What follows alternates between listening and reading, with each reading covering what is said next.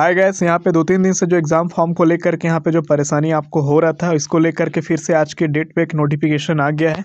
देखिए, यहाँ पे साफ़ साफ़ मेंशन फिर से कर दिया था एग्ज़ाम फॉर्म आपका नवंबर दिसंबर 2020 का जो एंड सेमेस्टर एग्ज़ाम का है, ठीक है, वो अब डेट्स नए होंगे। जो आपका पहले का जो डेट था, वो अब नहीं होगा एक्सटेंड होकर के अट्ठारह उन्नीस, बीस फरवरी दो हज़ार इक्कीस तक ये आपका डेट एक्सटेंड कर दिया गया है। तो आप डेट देख लीजिए अट्ठारह उन्नीस, बीस, ठीक है। तो बीटेक थर्ड सेमेस्टर के लिए ये है। अगला जो आपका बी फार्मेसी पी सेम के लिए है। थर्ड सेमेस्टर डिप्लोमा इंजीनियरिंग जो न्यू सेम है, ठीक है? थर्ड सेमेस्टर उनके लिए है।